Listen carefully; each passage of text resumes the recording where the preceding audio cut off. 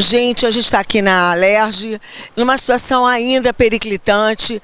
A coisa continua sem menor respeito pelos comissários, pelos aeronautas. É uma tristeza o que estão fazendo com os ex-funcionários da Varg.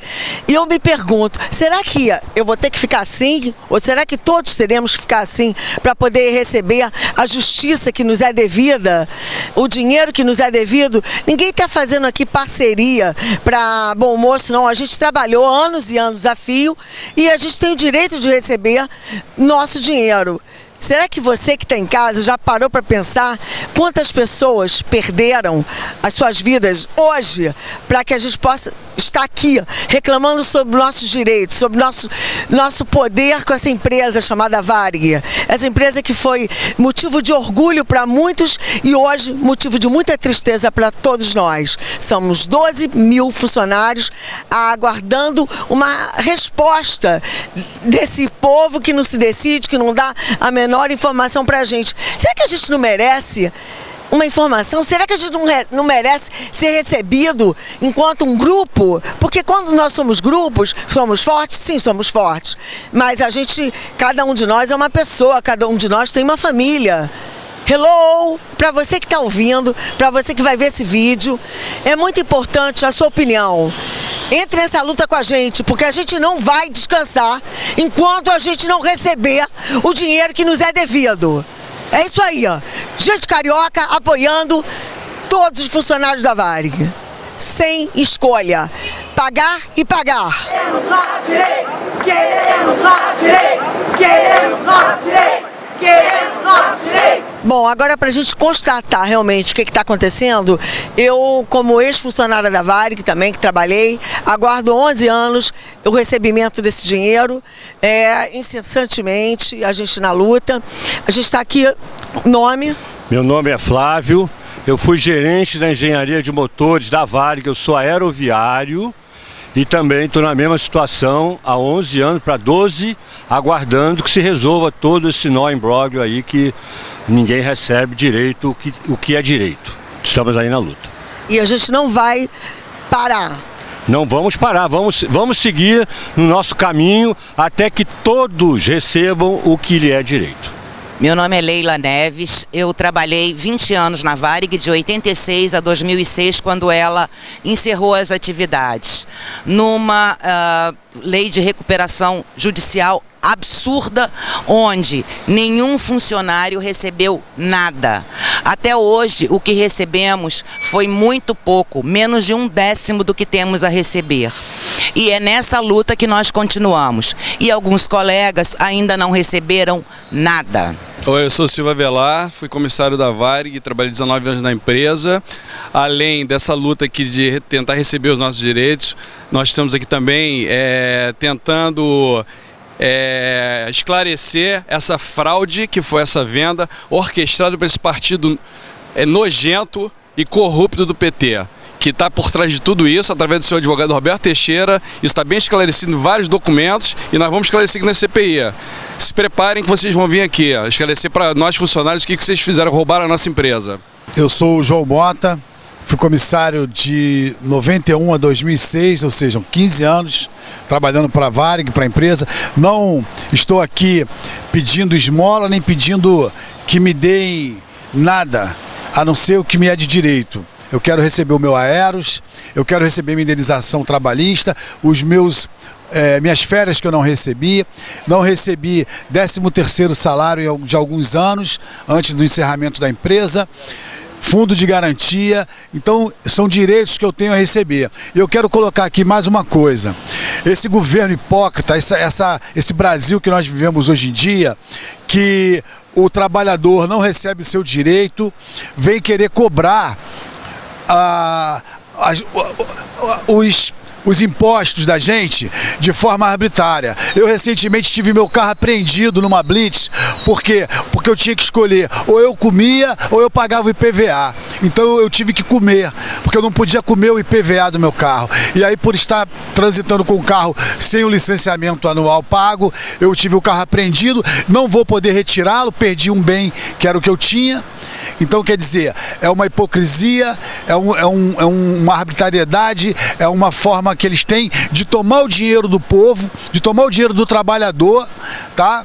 E na hora que tem que pagar o trabalhador, que tem que honrar com a sua. Com, com, né, com a sua dívida, com, com aquilo que ele está devendo, ele não honra. Mais de 2 mil de nós já morreram esperando esse dinheiro. Alguns, inclusive, em decorrência dessa espera longa. Quantos mais precisarão morrer para que isso seja a justiça seja minimamente feita? Será que a gente vai ter que ficar realmente perder a vida esperando esse dinheiro? Será que ó, as autoridades não vão perceber que a Varg era um patrimônio nacional? Hello, gente, acordem, ajudem a gente. Fiquem com, essa luta também. Amanhã pode ser o seu filho numa situação semelhante, ou sua irmã, ou sua cunhada. Por isso, gente, não, não deixe passar impune. Queremos nosso direito! Queremos nosso direito! Queremos nosso direito! Queremos nosso direito! Bem, a gente está aqui com os funcionários da Varg e uh, cada um deles trabalhou um período na Varg. Vamos, nome? Almáquio. Eu trabalhei entre Cruzeiro e Varig 30 anos. Estou aguardando a defasagem tarifária. Reaver os nossos direitos, que foram desrespeitados por esta quadrilha que assolou o nosso país. Meu nome é Luiz Vieira, eu trabalhei na Vale durante 30 anos e estou aqui na esperança e ansioso para que eu tenha meus direitos reconhecidos. Meu nome é Sherazade, trabalhei 27 anos na Varig e estou esperando vitória nessa, nessa batalha aí, nessa luta que, são, que é de todos nós. Trabalhei 26 anos na Varig, meu marido é Adari, trabalhou no, no, como comissário da Varig por, por esse tempo também. Realmente nós estamos querendo os nossos direitos. Meu marido tem que fazer uma cirurgia de catarata, 5.500 são as lentes porque mesmo com plano de saúde que só vai ressarcir a ele 700 reais. Então nós estamos reivindicando os nossos direitos que são nossos e, e que estão sendo negados. Sheila Cruz, é, 18 anos de empresa, justiça, é o que eu quero em nome do grupo, justiça. 22 anos como comissária de bordo. Nós vamos lutar por todos os nossos direitos. Beth, ex-comissária Varig, aposentada, estou aqui para, que, para reforçar o cordão do, dos injustiçados. Os meus colegas têm o direito de receber o, o tudo que eles que tiraram deles, ou seja, os, os pagamentos atrasados, assim como os benefícios do Aeros. Esse grupo todo que está aqui hoje, dia 1 de agosto de 2017, são guerreiros e com guerreiros não se brinca. Portanto, você que está assistindo ao nosso vídeo, participe, passe isso adiante, porque ó, ó, a gente tomou um calote sim. E esse calote foi do governo. Pode acreditar. E não vai ficar assim. Comissária de bordo, 20 anos de Varg. Estou lutando, como todos nós, pelos nossos direitos. Merecemos o que é nosso. Não vamos desistir! Não vamos desistir! Não vamos desistir! Não vamos desistir! Meu nome é Moema Ribeiro, eu trabalhei na, voei na Varig 27 anos e fiquei, eh, no final era chefe de equipe de voo internacional e fiquei sem meus fins rescisórios e sem o Aeros, que eu paguei 23 anos, 8% do meu salário todos os meses. Eles dizem que eu tenho lá 864 mil reais.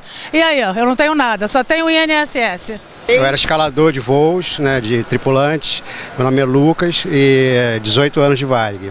Orlando Torres, 24 anos de empresa, comissário de voo. Luta, luta pela justiça, luta, só isso nós vamos querer. Meu nome é Denise Diedrich, tenho 22 anos de Varg. Estou aqui porque quero ver apuradas as responsabilidades, porque é um absurdo passarem-se 11 anos da empresa ter acabado e nada ter acontecido de verdade. Marilene Souza, 20 anos, Queremos nosso dinheiro. Saiu do ar para entrar na história e nós somos a história. Nós não vamos desistir. Queremos nossos direitos! Queremos nossos direitos! Queremos nossos direitos! Queremos nossos direitos! Queremos nossos direitos! Queremos nossos direitos!